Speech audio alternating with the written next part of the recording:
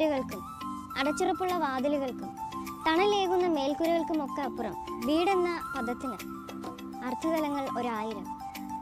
ഉള്ളിൽ വസിക്കുന്നവരുടെ ഹൃദയത്തിൽ നിന്ന് വരുന്ന ഒരു വാചകം ഇതെന്റെ പ്രിയമാം ഇടം. ഓരോ വീടും ഇത് തന്നെയല്ല കേൾക്കാൻ കൊതിക്കുന്നത്.